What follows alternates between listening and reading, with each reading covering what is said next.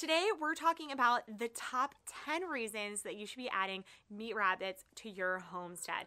And the first one being that they are a low cost startup animal to be adding to your homestead.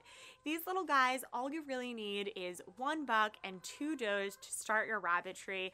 And then all you're gonna need is a place for them to live, which can be a set of cages, watering sources, bowls for their food, their actual food, hay, and then other maintenance items that you'll need and we're gonna go through in our video today. So stay tuned, we're gonna go over the next nine in just a bit. I'm Danielle of the Split Arrow Farm and welcome to our channel where we bring you new content every week on how to start your own homestead or small farm to live a more self-sustainable lifestyle.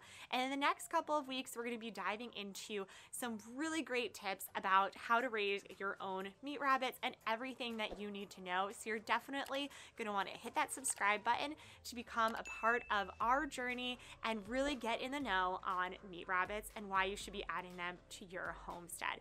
But let's jump into our point number two, which is you really don't need that much space for these little guys and to start up your own self-sustainable lifestyle with raising meat rabbits. And that's because you can raise meat rabbits in as small of an apartment. You could have them in your basement, a garage, a barn, or any type of shed. And there aren't that many town regulations or laws restricting you from having your own rabbitry. I know in our town there are a lot of laws around roosters or animals that make noises or disruptions to the community, but rabbits are just such a quiet animal that don't take up that much space that there aren't really that many regulations around it and it's not going to put on too many restrictions for you, which is in my mind, a great reason why they're such a good animal to add to your homestead. And not only that, but they're just so cute and amazing to watch grow up. The third reason why rabbits are gonna be a great addition to your homestead is there is such a wide variety of ways that you can integrate them into your homestead. So again, dependent on your land and property size, you can go into a smaller setup. So we have a barn that we've actually sectioned off for our different animals on our homestead, our rabbits, quails, and chickens as of now. And then we have some extra space for storage and our gardening supplies. What's really great about this is we have a setup where we're able to stack our rabbit cages and this really provides a lot more space for us to give them enough room as well as give us enough space for them in our homestead. There are also different ways that you can provide homes for your rabbits. Another way is you can actually create more of a lean-to type building, and I'll pop up a picture of this here, where you're able to actually hang the different cages down. And this is gonna create another way that you can do this. It doesn't usually have as many restrictions on your town because it isn't a four-walled enclosed area. And what's really nice about this is you can actually let the droppings and urine fall to the ground and then scoop it up and use that as manure in your garden, which is a great positive of why rabbits are another great addition to your farm. And the third type of living that you can have for rabbits is actually putting them in a colony setting. And colony settings have grown really big in the last couple of years. And this is basically just bringing them back to of their roots, giving them a space that is carved out for just them. They can freely run around most of the time people will put up little fun games and areas for them to play around in and this gives you the ability to just have them in one room that you don't have to worry about too much. The fourth reason that rabbits are a great addition to your homestead is because of their meat. Now, their meat is actually a really lean source of protein. It's a low calorie alternative that is packed with protein and you're gonna find that these little guys actually grow out pretty quickly. This rabbit is only a couple weeks old. These rabbits in here are about eight weeks old. You can see right here where this would be a rabbit that you could actually harvest at this time. And the actual amount that you get from the harvesting to actual meat is around 60%, which creates a very green source of meat that you're able to really watch the progression of and see that you're giving them clean hay, pickings from the outdoors, maybe grass clippings, leaves, and you're feeding them fresh water and you get to really see how your meat is created and you're getting a really lean source of protein that you can add to your diet. The fifth reason, going off of a sustainable meat source, they are a really great meat source that can help feed you. Now, a lot of people say that you can go hungry on rabbits, and because they are such a lean meat source, it probably wouldn't be ideal to only eat meat, the meat of rabbits as your entire diet because that just wouldn't be a diverse diet, and you probably wouldn't get the nutrition from just one source of food anyway. If we had you eating lettuce every day as your only source of food, you probably would be malnutritioned as well. So you want to make sure that you're adding them to your diet of other things that maybe you have on your farm, your homestead, that you're growing in your garden, or that you're also having other types of meat just to diversify what you're eating. But really, with one to two does on your farm, you're going to be able to feed a family of two or four, or maybe even more, depending on how much you guys do eat and how many kids and how extensively you are breeding these rabbits. Now, our mama up here just had a litter of four. Our mama down at the bottom just had a litter of seven kids. And in only eight weeks, these are gonna grow out to around five pounds of meat. And that's going to be a large amount of food that you can be feeding to your family and yourselves. So really great source of meat that you actually know where it's coming from. Number six is again, these rabbits are going to grow really quickly. So their time that it takes them to grow to harvestable meat is around eight weeks. And in that time, you're going to be able to get a what we call a fryer, which is going to be around five pounds of meat and you can easily just cook this up. It's really great meat. If you wait until 12 weeks, it will be a roaster and anything over that, it will be a stewer, which kind of you think of how you're actually cooking it. So at eight weeks, you can fry it.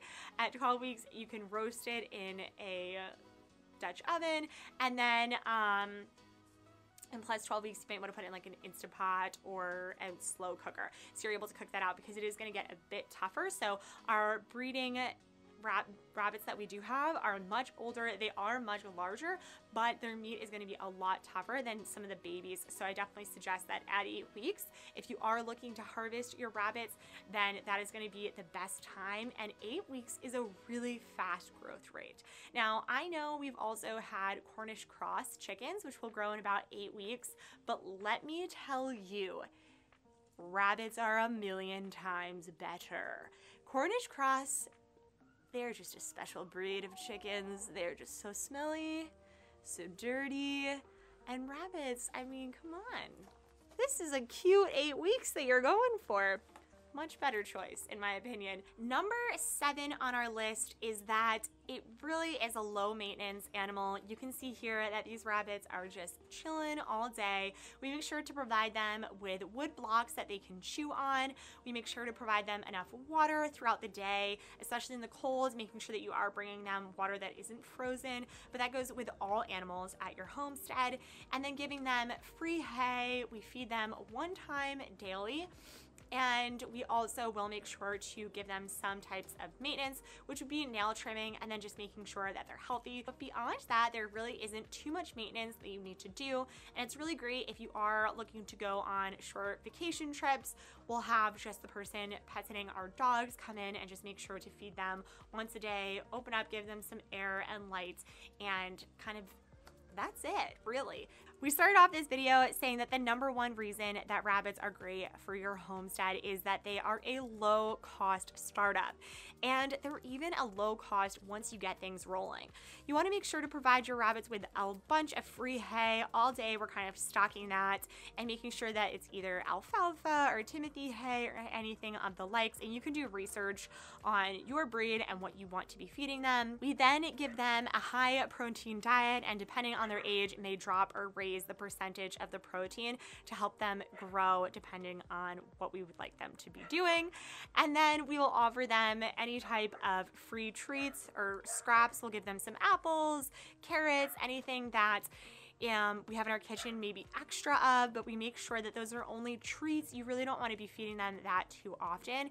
And then what's really great, especially in the summer months, is pulling down some leaves from the trees or pulling up some grass and dandelions from the ground and putting that into their trays, or even we will pull out our rabbit tractors and let them graze that way as well and also get just outside in the sun and that greatness. But it's really just a low cost animal. You aren't really spending too much money on their feed and too much time even doing it because we really only feed them once a day and then we give them hay at that same time. Number nine is that they're actually an incredibly easy animal to process. There are a few different methods that people will use. One is the broomstick method, which I won't go into too many graphics there, but you can do the broomstick method. You can do anything of like a pellet gun and kind of do that way or there are different types of contraptions that you can use and I'll throw a picture up here of them and it is pretty easy. It happens pretty quickly if you do this in a humane way and the cleaning process is relatively easy and you're able to get that meat on your table rather quickly and it's usually quite delicious. Now number 10 and the reason why I listed this as the last reason is because I have gotten so much feedback that everyone loves this reason for their rabbits and we talked about it a little bit in the different types of cages but they are a great source for garden manure and most times people will actually sell their droppings which can go from up to $40 um, a bag, which is just insane. But yes, you can collect their droppings, both their droppings and their urine are going to be great for your garden and they can actually be used very quickly. They do not need any process where you let them wait. They can actually go straight into the garden, but really great source. They're going to not only help you in being able to harvest them, but they're going to be helping you with your garden and other operations on the farm, which is amazing. Love all of that cross pollination within your farm. Now, I hope you guys liked this video. Those are the top 10 reasons that you should be adding meat rabbits to your homestead this year, but I'd love to hear more comments down below. And I'm going to throw up other videos. We have a rabbit playlist of so many great videos. We're going to be doing a bunch more rabbit videos in the coming weeks, as well as another video that you can watch right here. That's it though. Have a good one.